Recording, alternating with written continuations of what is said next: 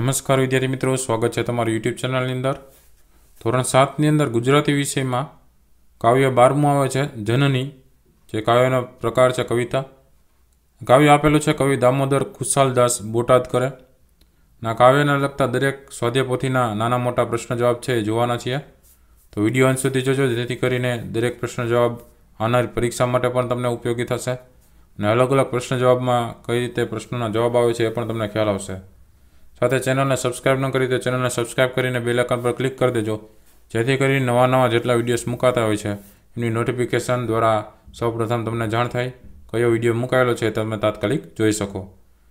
ચેનલની અંદર જાશો ત્યાં ઉપર પ્લેલિસ્ટ છે. પ્લેલિસ્ટની અંદર નીચે તમે જાશો ત્યાં સ્વાધ્યાય પોથીનું પ્લેલિસ્ટ જોવા મળશે.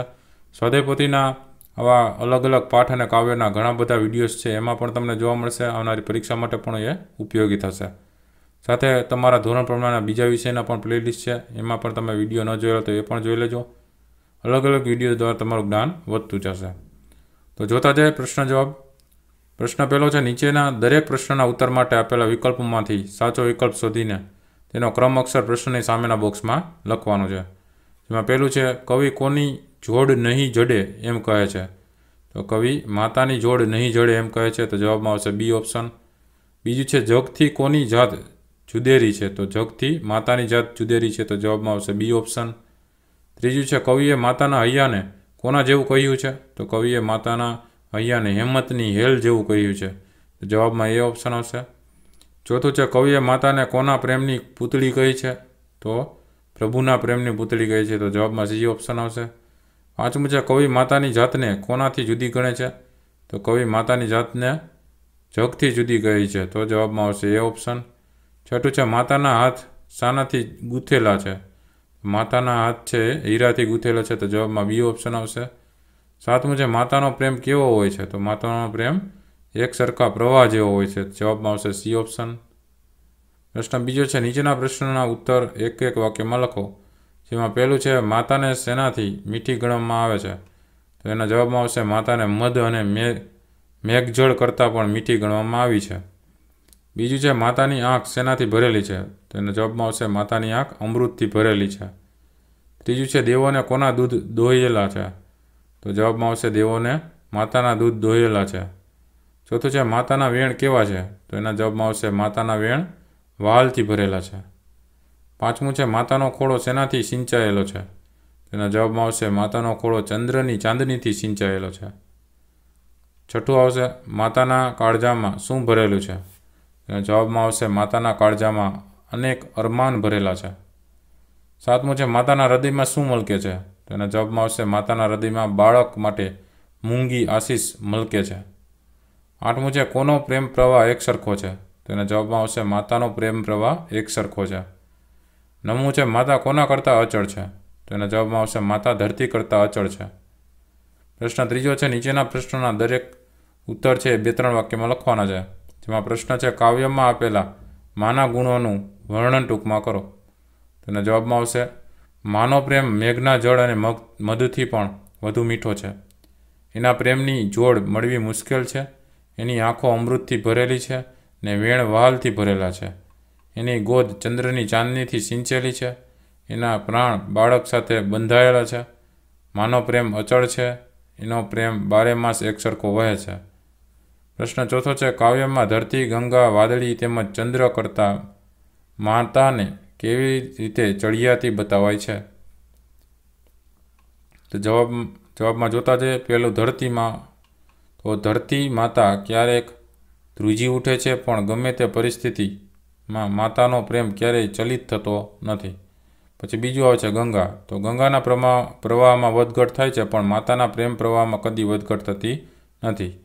પછી ત્રીજો આવશે વાદળી. તો વાદળી ક્ષણભર વરસીને ચાલી જાય છે, પણ માતાનો પ્રેમ સંતાન પર સતત વરસતો રહે છે. ચોથો આવશે ચંદ્ર. તો ચંદ્રની કળામાં વધઘટ થાય છે, પરંતુ માતાનો પ્રેમ ક્યારેય ઓછો થતો નથી. પછી પ્રશ્ન પાંચમો છે, નીચેના કાવ્ય પંક્તિઓ પૂર્ણ કરવાની છે. અમીની ભરેલી, ત્યાંથી લઈને કેરી હેલરે જનનીની. તેના જવાબમાં આપણે લખવાનું છે કે અમીની ભરેલી એની આખડી આંખડી રે લોલ વહાલના ભરેલા એના વેણ રે જનનીની જોડ સકી નહીં ચડે રે લોલ. હાથ ગૂંથેલ એના હીરના રે લોલ એયુ હેમંત કેરી એલ રે. જનનીની જોડ સકી નહીં ચડે રે લોલ. પ્રશ્ન છઠ્ઠો છે, નીચેની ભાવનાને વ્યક્ત કરતી કાવ્ય પંક્તિઓ કાવ્યમાંથી શોધીને લખવાની છે. માના હૈયાના હરખમાં જ એની મોંઘી આશીષ પ્રકટ થઈ જાય છે. એની આ મુખ આશીષની રસ લહાણ માણ્યા કરીએ તો પણ ક્યારેય એ ખૂટતી નથી. તો એ કાવ્ય પંક્તિ કઈ છે? એને જવાબમાં લખી શકીએ. મૂંગી આશીષ ઉરે મલકતી રે લોલ, લેતા ખૂટે ન એણી લહાણ રે. પછી પ્રશ્ન સાતમો છે. નીચેની કાવ્ય પંક્તિઓમાં યોગ્ય શબ્દો વડે ખાલી જગ્યા પૂરવાની છે. તેમાં પહેલું છે, ખાલી જગ્યાની ભરેલી એની આંખડી રે લોલ. તો અમીની ભરેલી એની આંખડી રે લોલ. બીજું છે, જગનો આધાર એની ખાલી જગ્યા રે લોલ. તો જગનો આધાર એની આંગળી રે લોલ. ત્રીજું છે, માડીનો ખાલી જગ્યા બારે માસ. તો માડીનો મેઘ બારે માસ રે પ્રશ્ન આઠમો છે, નીચેના શબ્દોનો વાક્યમાં પ્રયોગ કરો. એમાં પહેલું છે, અમી. તો માની આંખોમાંથી હંમેશા અમી વરસે છે. બીજું છે, હેલ. તો આજે પણ ગામડામાં પાણીની હેલ ભરીને જતી પનિહારીઓ જોવા મળે છે. ત્રીજું છે વ્યોમ. તો રાત્રે તારાઓથી ભરેલું વ્યોમ બહુ સુંદર લાગે છે. પછી ચોથું આવે છે દોહિલું. તો માનો પ્રેમ દેવા, દેવો માટે દોહિલ્યો છે. પ્રશ્ન નવમો છે, નીચેના શબ્દો માટે કાવ્યમાં વપરાયેલા શબ્દો શોધીને લખતા જવાના છે. તો જોતા જાય શબ્દ. પહેલું છે માતા, એટલે માત, પછી જનની અને માડી. એ ત્રણ શબ્દ જોવા મળે છે. બીજું છે આકાશ, એમાં આવશે વ્યોમ. ત્રીજું છે ધરતી, એમાં આવશે ધરણી. ચોથું છે ચંદ્ર, એમાં આવશે શશી કે ચંદા. બરાબર એવા શબ્દો વપરાયેલા છે કાવ્યોમાં. પ્રશ્ન દસમો છે, નીચેના શબ્દોના બે બે સમાનાર્થી શબ્દ લખવાના છે. તો જોતા જઈએ સમાનાર્થી શબ્દ. પ્રેમનું થશે હેત કે પ્રીત, જગનું થશે જગત કે વિશ્વ. આંખનું થશે નયન કે નેત્ર, ઉજાસનું થશે પ્રકાશ કે તેજ. નીરનું થશે જળ કે પાણી, શશીનું થશે ચંદ્ર કે સુધાકર. પ્રશ્ન અગિયારમો છે, નીચેના શબ્દોનો વિરુદ્ધાર્થી શબ્દ લખતા જવાના છે. તો મીઠોનું થાય કડવો, પ્રેમનું થાય નફરત, જુદેરીનું થાય સમાન, અમીનું થાય વિષ, આધારનું થાય નિરાધાર બંધનનું થાય મુક્તિ મૂંગીનું થાય બોલકી, વધુનું થાય ઘટવું, આશીષનું થાય સાપ. ત્યાર પછી પ્રશ્ન બારમો છે, નીચેના દરેક શબ્દ સમૂહ માટે એક એક શબ્દ લખવાનો છે. તેમાં પહેલું છે, ખુશાલીના પ્રસંગે અપાતી ભેટ, એને કહેવાય લહાણ કે લહાણી. બીજું છે ચડે એટલે કે ખસે નહીં તેવું, એને કહેવાય અચળ. પછી આવે છે પ્રશ્ન નંબર તેરમો. નીચેના વાક્યમાંથી વિશેષણ શોધીને તેના પ્રકાર જણાવો. જેમાં પહેલું છે, મીઠા મધુને મીઠા મેહુલા રે લોલ. તો એના જવાબમાં મીઠા જે છે એમાં એકમાં અનુસ્વાર છે, મીંડું છે. એક એમના મીઠા લખેલું છે. તો એ ગુણવાચક વિશેષણ છે. પછી બીજું છે, મૂંગી આશીષ ઉરે મલકતી રે લોલ. તો એમાં મૂંગી છે, ગુણવાચક વિશેષણ છે.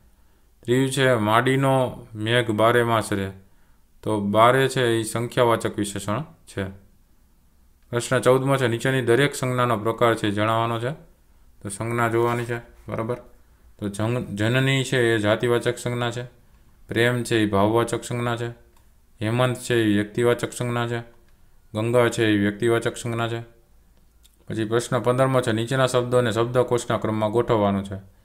બરાબર? તો એના જવાબમાં લખતા લખી શકીએ આપણે આશીષ, આંગળી, ઉજાસ, નીર ને હેમંત. એ ક્રમમાં ગોઠવાશે.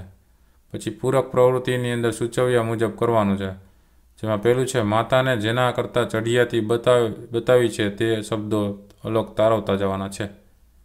તો આ બધા આપેલા શબ્દો તમે જોઈ શકો છો. તો એના જવાબમાં તમે લખી શકો, ધરતી, વાદળી, વરસાદ એટલે કે મેઘ, ગંગા, ચંદ્ર અને મધ. પછી બીજો પ્રશ્ન છે, આ અલગ તારવેલા શબ્દોવાળી પંક્તિઓ કાવ્યમાંથી સુધીને લખવાની છે. તો દરેકને આમાં જે શબ્દ આવતો હોય એ પ્રમાણે કાવ્ય પંક્તિ લખવાની. તો એના જવાબમાં ધરતી. તો ધરણી માતાએ હસે ધ્રુજતી રે લોલ, અચા, અચડા અચૂક એક માય રે. પછી વાદળીમાં લખવાનું વર્ષે ઘડીક વ્યોમ વાદળી રે લોલ. પછી વરસાદમાં લખવાનું, માડીનો મેઘ બારે માસ રે. ગંગામાં લખવાનું, ગંગાના નીર તો વધે, ઘટે રે લોલ, સરખો એ પ્રેમનો પ્રવાહ રે. ચંદ્રમાં લખવાનું, ચડતી ચંદાની દિશે ચાંદની રે લોલ, એનો નહીં આથમે ઉજાસ રે. મધમાં લખવાનું, મીઠા મધુને, મીઠા મેહુલા રે લોલ, એથી મીઠી તે મોરી માત રે. પ્રશ્ન ત્રીજો છે, માતૃપ્રેમ દર્શાવતી એક વાર્તા શોધીને લખો અને તેને યોગ્ય શીર્ષક આપો. તો એનો યોગ્ય શીર્ષક પેલા લખો માતૃ હૃદય બરાબર? ગીરમાં માલધારીઓનો કરમના દાધિયા નામનો સાતેક ઝૂંપડાનો એક નેસડો હતો. એના માલધારીઓ દિવસે ઢોર ચરાવવા જતા, સ્ત્રીઓ વહોણ, વલોણા કરતી અને સાંજે બળતણ વીણવા ગીરના જંગલમાં નીકળી પડતી. એ નેસડામાં આઘેળ ઉમેર, ઉંમરની એક બાઈ રહેતી હતી. એક સાંજે તે બળતણ વીણવા દૂર જંગલમાં ગઈ. સાથે ચારેક વર્ષનું એનું બાળક હતું. બન્યું એવું કે માં સૂકા લાકડા વીણતી વીણતી આગળ નીકળી ગઈ અને બાળક ફૂલ ફૂલડા ચૂંટતું પાછળ રહી ગયું. બાળકે ત્યાંની એક ભેખડ ઉપર ઊં ઊં અવાજ સાંભળ્યો, પાસે બોર્ડમાંથી બહાર નીકળીને સિંહનું એક બચ્ચું ભેખડ ઉતરવા પ્રયત્ન કરતું હતું. બાળકે બચ્ચાને ઉંચકી લીધું, તે વહાલથી એની ઉપર હાથ ફેરવવા માંડ્યો. એટલામાં માલધારી સ્ત્રીએ અચાનક ડોણક સાંભળી. તે ચોંકી ઉઠી. તેને પોતાનું બાળક યાદ આવ્યું. તેણે પાછળ જોયું, બાળક ત્યાં ન હતું. તેણે દોટ મૂકી તે ભેખડ પાસે આવી. એણે જે દ્રશ્ય જોયું, એથી એની આંખો, આંખે અંધારા આવી ગયા. બાળકે બગલમાં સિંહબાળ પકડ્યું હતું. એક બાજુ સિંહણ ત્રાળ નાખતી હતી. બીજી બાજુ માલધારી સ્ત્રી સિંહબાળને છોડી દેવા પોતાના દીકરાને સમજાવતી હતી. માના કહેવાથી બાળકે સિંહબાળને છોડી દીધું. સિંહબાળ એની મા, એટલે કે સિંહણ પાસે પહોંચી ગયું અને માલધારી બાળક મા પાસે ગયું. ત્યાર પછી પ્રશ્ન ચોથો આવે છે, માતૃપ્રેમ દર્શાવતું એક કાવ્ય શોધીને લખવાનું છે. બરાબર? તો એવું એક કાવ્ય છે અહીંયા. જવાબમાં લખી શકો તમે. હતો હું સૂતો પારણે પુત્ર નાનો. રહું છે તો રાખતું કોણ છાનો? મને દુઃખી દેખી દુઃખી કોણ થાતું? મહા હેતવાળી દયાળી જ માતું. સૂકામાં સુવાળે ભીને પોઠે પોતે. પીડા પામું પંડે તજે સ્વાદ તો તે. મને સુખ માટે કટુ કોણ ખાતું? મહા હેતવાળી દયાળી જ માતું. પંડુ કે ખંડુ તો ખમા આણી વાણી. પડે પાપણે પ્રેમના પૂર પાણી. પછી કોણ પોતા, પછી કોણ પોતા તણું દૂધ પાતું?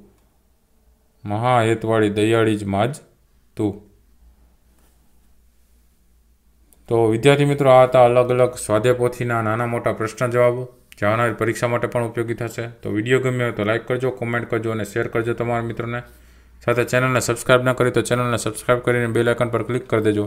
જેથી કરી નવા નવા જેટલા વિડીયોઝ મુકાય છે એની નોટિફિકેશન દ્વારા તમને સૌપ્રથમ જાણ થાય અલગ અલગ વિડીયોઝ દ્વારા તમારી અલગ અલગ જ્ઞાન પણ વધતું જશે અને માહિતી પણ મળશે કયા પ્રશ્નોના કઈ રીતે જવાબો છે. સાથે ઉપર ચેનલમાં પ્લેલિસ્ટમાં જજો, ત્યાં તમને નીચે સ્વાધ્યાય પોથીનું પ્લેલિસ્ટ જોવા મળશે. આના સિવાયના બીજા પાઠ કે કાવ્યના દરેક પ્રશ્ન જવાબ તમને આવનારી પરીક્ષા માટે એમાં પણ જોવા મળશે જે ઉપયોગી થશે. બરાબર? તો એ ન જોયેલા તો એ પણ જોઈ લેજો. અને વીડિયો ગમે તો એ લાઇક કરજો, કોમેન્ટ કરજો અને શેર કરજો તમારા મિત્રોને. ફરી પાછા નવા વીડિયો સાથે મળીશું. ત્યાં સુધી તમારી કાળજી રાખજો. Thank you very much and take care